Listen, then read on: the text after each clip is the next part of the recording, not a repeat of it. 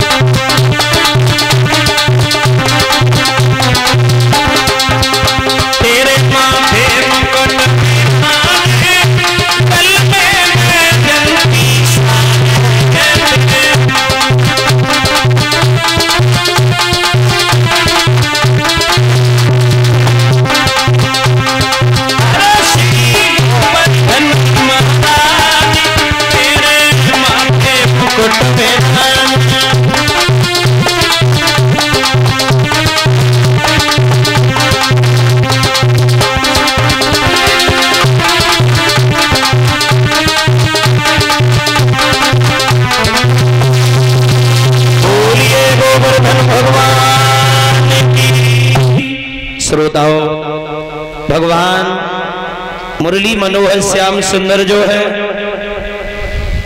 आज इधर गोवर्धन भगवान का पूजन करवा रहे हैं। सभी बाला गोपियाँ बड़े मगर